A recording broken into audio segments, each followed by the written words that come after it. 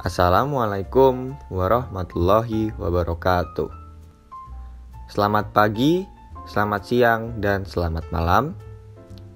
Kami dari kelompok 6 Sosiologi Komunikasi yang beranggotakan Algifari Iza, Dini Amaria, Hizwa Noval, dan Torik Hanif akan menjelaskan tokoh yang bernama Jürgen Habermas.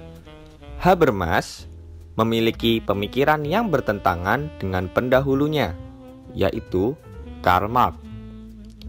Habermas menerima asumsi Marx bahwa sejarah berjalan menurut logika perkembangan tertentu. Hanya saja, ia tak setuju bahwa teknologi dan ekonomi menjadi motor perkembangan sejarah. Di sini, Marx hanya membahas kerja saja dengan mengabaikan interaksi sosial dengan asumsi bahwa masyarakat pada hakikatnya bersifat komunikatif, Habermas kemudian mengganti paradigma produksi dari materialisme sejarah itu dengan paradigma komunikasi. Pemikiran-pemikiran Habermas sendiri termasuk dalam kelompok kritis. Habermas menanamkan gagasan sebagai rekonstruksi materialisme historis. Habermas bertolak dari pemikiran Marx, seperti potensi manusia, spesies makhluk, aktivitas yang berperasaan.